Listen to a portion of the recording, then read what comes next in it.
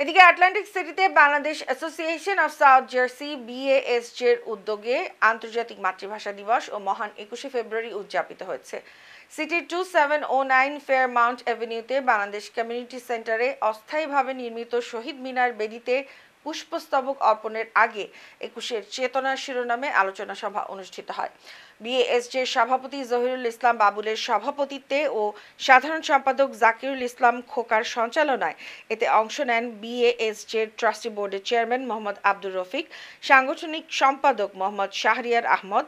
জনসংযোগ সম্পাদক বেলাল হোসেন, যুগ্ম সম্পাদক মনিরুজ্জামান, কোষাধ্যক্ষ Abdur Rahim, South Jersey Metro Awami লীগের সাধারণ সম্পাদক Kutubuddin Imran, New Jersey State বিএনপির কার্যকরী সদস্য Giasuddin Pathan, Bangladesh America Lions Club of Atlantic সিটির সভাপতি শ্রী কনক রাউত, বৃহত্তর নোয়াখালী অ্যাসোসিয়েশনের সভাপতি Mohammad Rana Kabir, Atlantic City press ক্লাবের সাধারণ সম্পাদক মোহাম্মদ শাহিন।